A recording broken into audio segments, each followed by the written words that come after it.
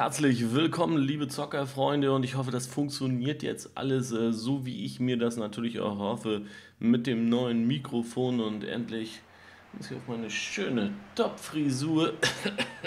muss unbedingt wieder zum Friseur. Ähm, ja, da kann ich nicht äh, wirklich äh, was äh, großartig versauen derzeitig. Ja, Montag und es ist äh, Bundesliga-Zeit und ähm, hier spielt jetzt die absolute B-Mannschaft von uns da auf dem Platz, weil es geht äh, derzeitig nur gegen Fortuna, gegen einen Abstiegskandidaten. Und ähm, im nächsten Spiel, Entschuldigung, ähm, müssen, muss ich, müssen wir äh, mit dem Rückspiel gegen Arsenal und deswegen habe ich die meisten ähm, auch auf der Reserve gelassen, damit die sich dann im äh, sogenannten Erholungsmodus machen. Ich gebe einfach mal heute mal Vergos die Möglichkeit, äh, sich zu behaupten. Und äh, ja, eins sind für uns wohl alle irgendwie sicher. Ähm, das mit La Soga geht leider nicht äh, so weiter. Wir können es uns halt nicht erlauben, dass unser eigentlich unser Stammstürmer äh, äh, es einfach äh, nicht hinbekommt, sich durchzusetzen, die Tore zu machen etc. Und ähm, ja, und ein Bakalim, der da natürlich immer wieder mal ähm, durchhuschen tut und das dann auch mal bringen tut, sich durchsetzen kann ähm, und in den richtigen Momenten dann auch die Tore bringt, ist zwar schön und gut, aber ist halt eigentlich kein Stürmer. Er ist ein Flügelspieler. Er ist ein rechter und linker Flügelspieler und hat eigentlich nur die Aufgabe, die Bälle äh, zu demjenigen hinzubringen. Wir müssen wirklich gucken, was wir äh, dort in der, in, der, in der nächsten Zeit wirklich machen, weil ähm, jetzt müssen wir im Sturm uns wirklich äh, ein bisschen mehr ranhalten. Paulsen müssen wir halt noch ein bisschen. Ähm, ups, ne, ich wollte Counter spielen. Nein, ich will. Nein. So, jetzt. Ähm, wir müssen uns halt äh, zusehen, dass wir ähm,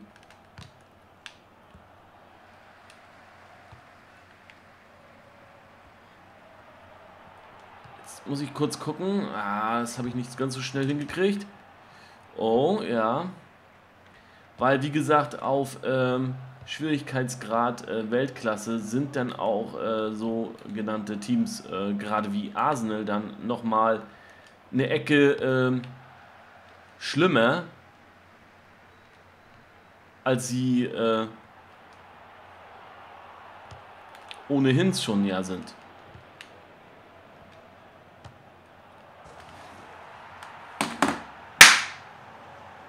Halleluja. Maximilian Beister, er lässt es hier mal ganz schnell krachen und macht nach sieben Minuten hier schon aus dem äh, aus dem Kreis, aus dem Halbkreis wollte ich gerade sagen, aber das ist ja gar nicht so äh, korrekt.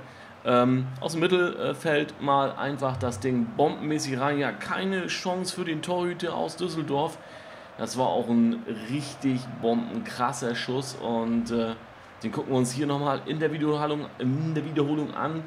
Und äh, super, wie er da dem Verteidiger den abgenommen hat. Schön aus der Drehung und dann zimmert er das Ding mit einem ja, würde ich schon fast sagen, angeschnittenen Schuss. Präzise oben ins linke rechte Eck. Ich würde glatt sogar sagen rechte Eck und äh, damit äh, bringt sich Maximilian Beister wieder in den Vordergrund ähm, und äh, er sollte mehr solche Dinge und mehr, mehr Aktionen von diesen leisten, denn kann er nämlich auch so in Schatten von Nikolai Müller heraustreten, denn der hat sich der hat die, der die Position einfach hier von Maximilian Beister einfach so gnadenlos übernommen, dass der äh, gar nicht damit klarkam und wir eben gerade gar nicht wussten, was, was war das denn jetzt auf einmal. Äh, und schon ist da der Ausgleich. Da haben wir nicht richtig aufgepasst. Äh, wir laufen einfach an den äh, Spieler vorbei, anstatt an ihn ranzugehen. Ja, und dann kommt äh, dort die Nummer 26. und Deno kann nicht so schnell reagieren. Und schon ist der Ausweich da. Also das ging ja mal hier richtig fix. So, Mukta kann den Ball noch behalten. Oh, Bellinghausen hier gegen Maxim Beister.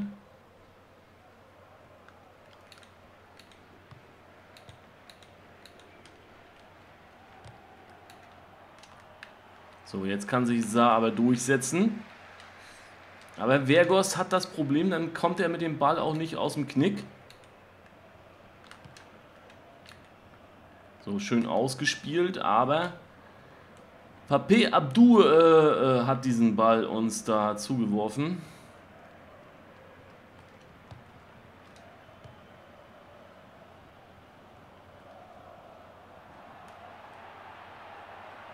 Ah, da wollte er mal durchhuschen. Nochmal die gleiche Aktion so in etwa äh, nochmal bringen. Aber dann ist er am letzten Verteidiger dann nachher stehen geblieben. Ah, da kam Vergos nicht gut ran. Jetzt hier vielleicht Mukta mit der Chance.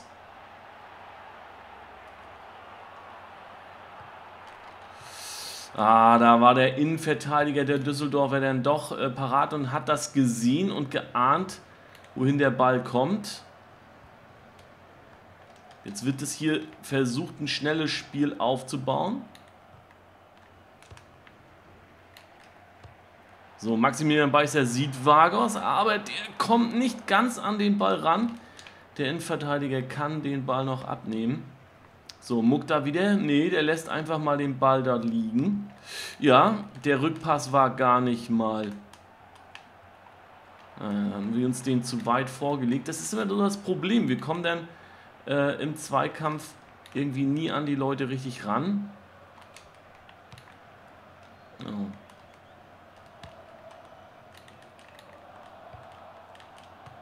So, sichere Abgabe hier wieder zu Kraft. Ach, das ist ja Kraft drin, genau. Ja, geh mal, geh mal, geh mal. So, Reinhardt.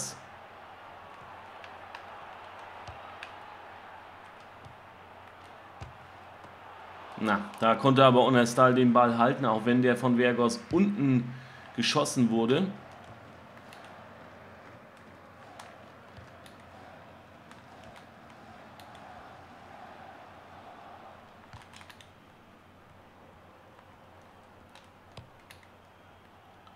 So, sie versuchen es jetzt hier wieder über die Seite, aber Reinhards macht das wieder richtig gut zu und äh, setzt seine Position äh, klar und deutlich rein und äh, macht sich dadurch natürlich auch uner unersetzlich.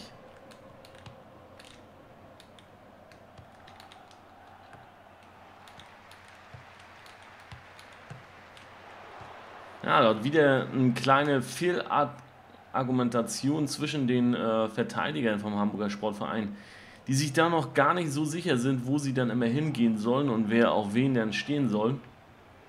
Das muss noch ein bisschen besser werden.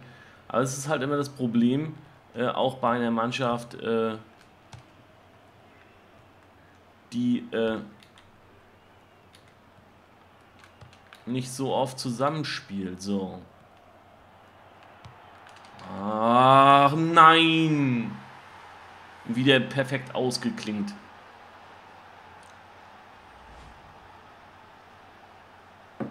Was wir überhaupt wieder. Und wieder der gleiche Fehler. Wir laufen an dem Mann vorbei, machen dadurch dann den Raum offen und Kraft kann dann nur noch äh, den Ball hinterher schauen.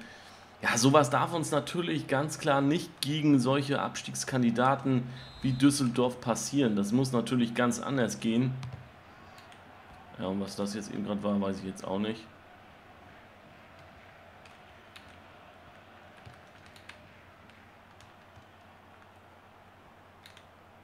Und dann diese immer diese Hinfalle, das ist immer so typisch FIFA-mäßig. Ich lasse mich jetzt mal fallen.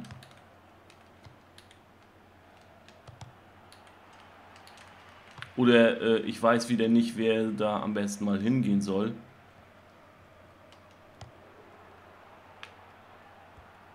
Oh, Werner, ey. Ja, und dann ist Pause. Und äh, eben dachten wir noch in den ersten paar Minuten, hey, das läuft doch gut, wir sind im richtigen Modus. Und da hat sich wohl auch einer bei Düsseldorf verletzt, da wird es wohl eine Auswechslung geben. Ja, achte Minute, Beißer macht das erste Ding und dann hat es aber nicht lange gedauert. Vier Minuten später kam gleich die Aus, äh, der Ausgleich und ähm, dann kassierten wir auf einmal den Rückstand und ähm, das wieder bei der gleichen Situation. Wir machen hinten den Raum offen und ähm, kassieren dann. Und da müssen wir wirklich besser aufpassen und wir müssen im Sommer definitiv mehr für unsere Verteidigung tun, denn auf einmal haben wir weniger Verteidiger, ähm, als wir eigentlich bräuchten. Und ähm, das ist äh, nicht das, äh, was, äh, was eigentlich ein Verein haben sollte. Denn äh, zu wenige Spieler, äh, das geht auf die äh, Kraft und jetzt müssen wir uns aber erstmal konzentrieren. Ah, da ist es schon wieder. So, Werner geht mal hinterher. Ach, schade. Konnte den Ball nicht behaupten.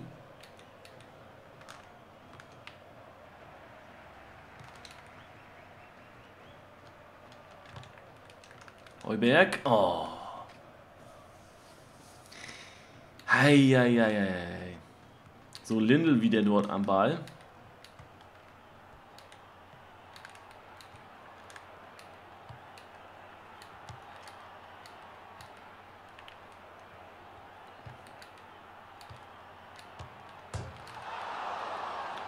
kann doch nicht wahr sein, oder?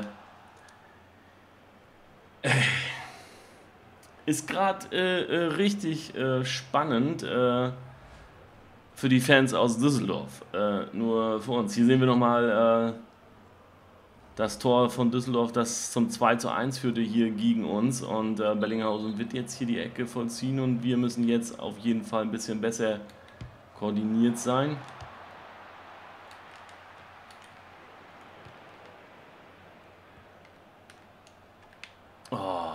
Das gibt's doch nicht. Wird doch mal irgendjemand, wird doch mal...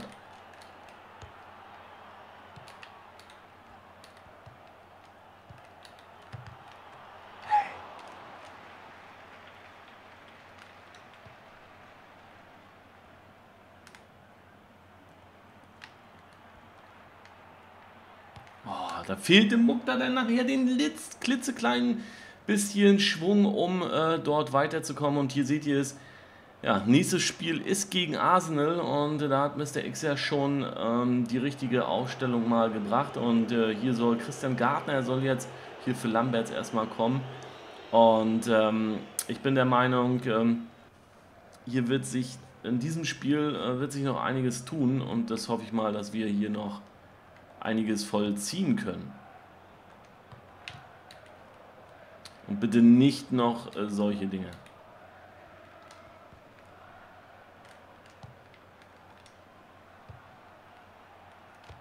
Boah, das gibt's doch nicht. Das ist doch, ist doch wieder einfach nur witzlos von FIFA, ja?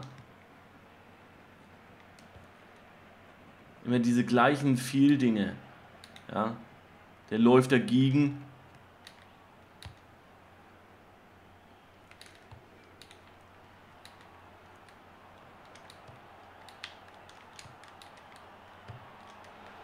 So, Lindl. Lindl ist wirklich gefährlich bei Düsseldorf.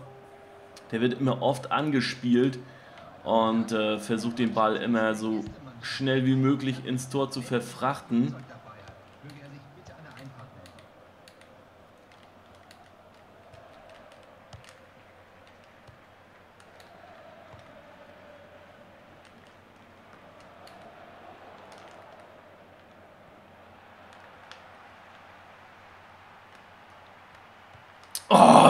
Da verliert der im, im, im, im, Sekundentakt den Ball. Das ist, äh, ist der Wahnsinn, Junge.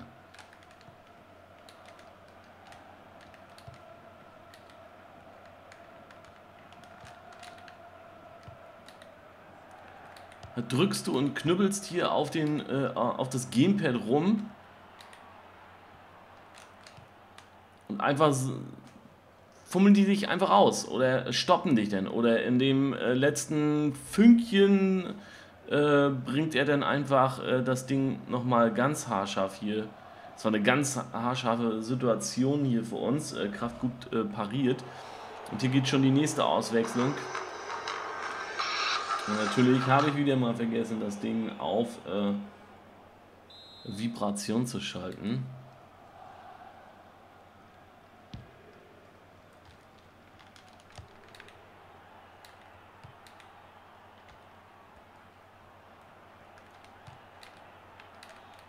So, jetzt machen wir hier richtig hinten dicht. Was?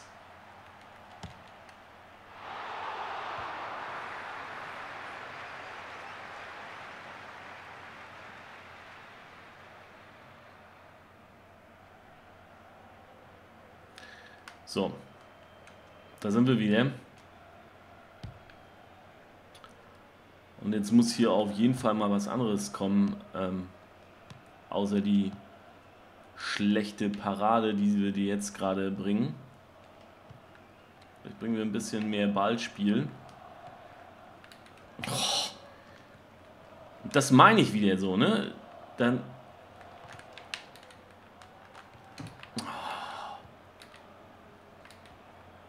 Hast du das Gefühl, als ob deine Jungs hier äh, mit, äh, äh, mit Eisenbändern an den, Schuhen laufen? Ja. So. Jetzt gibt es hier ein Foulspiel, jetzt äh, gibt es hier auch die dritte Auswechslung. Und ähm, ich werde das jetzt auch mal machen.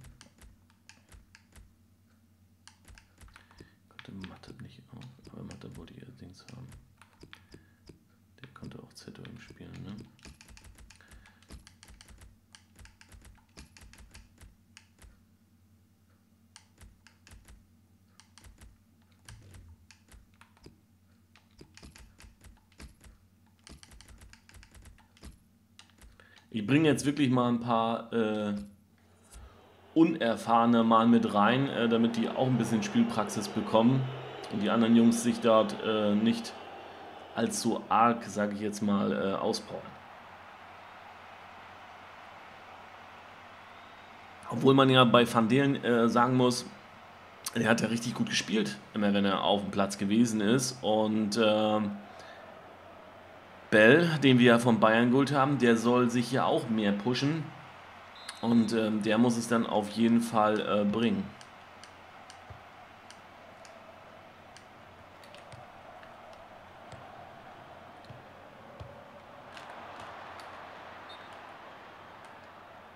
So. Foul hier von den Düsseldorfern.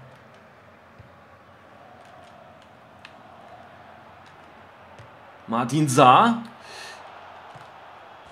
Oh, Werner. Das war die Möglichkeit.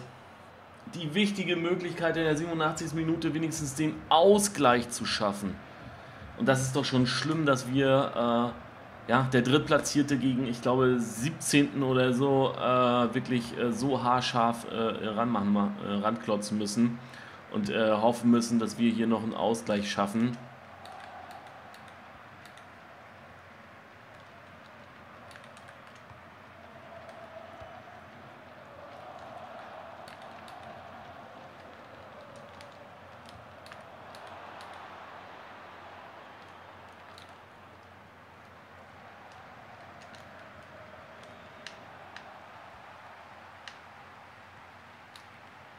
Nein, wieso hat er denn den Ball nicht genommen? Oh mein Gott, ich konnte auch nicht rechtzeitig umschalten.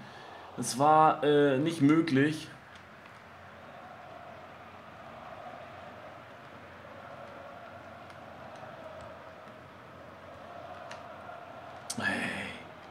Es ist kein Durchkommen. Kein Durchkommen. Und somit äh, äh, verlieren wir hier sogar noch ein Spiel gegen Düsseldorf, geben das Ding komplett aus der Hand und äh, ich weiß nicht, äh, was äh, das, das Problem heute wieder irgendwo gewesen ist. Äh, wir wurden ganz schnell ausgespielt, sind nicht mitten äh, überhaupt ins Spiel mehr gekommen. Auch die zweite Hälfte hat nichts dran äh, gebracht, dass wir äh, ganz arge Schwierigkeiten haben noch mit dem Koordinationsspiel und dem richtigen Zusammensein. Das muss morgen gegen Arsenal auf jeden Fall besser klappen. Aber dann stehen ja auch wieder die richtigen Leute auf dem Platz. Da muss es aber definitiv besser funktionieren. So, äh, mich würde natürlich jetzt erstmal interessieren, ähm, ob das jetzt mit der Sprachqualität alles gut geklappt hat.